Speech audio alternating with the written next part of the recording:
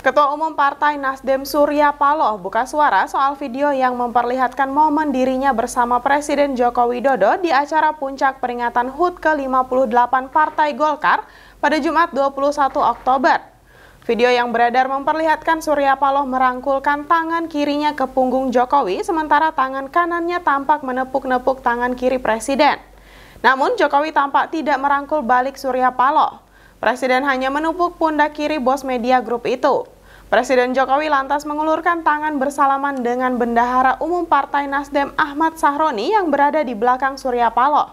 Dikutip Kompas.com menanggapi video tersebut, Surya Paloh mengatakan saat itu dirinya memang tak ingin mengajak Jokowi berpelukan.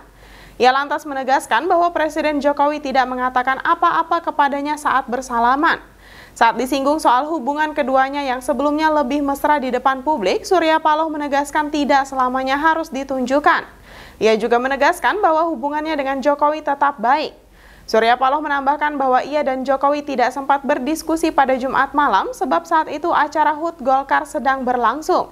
Bahkan meski keduanya duduk berjajar dengan para ketua umum partai lainnya, Surya Paloh mengatakan tetap tidak ada pembicaraan di antara mereka. Jangan lupa follow Instagram, Facebook, dan YouTube kami untuk terus mengikuti perkembangan terkini berita Banjarmasin Pos.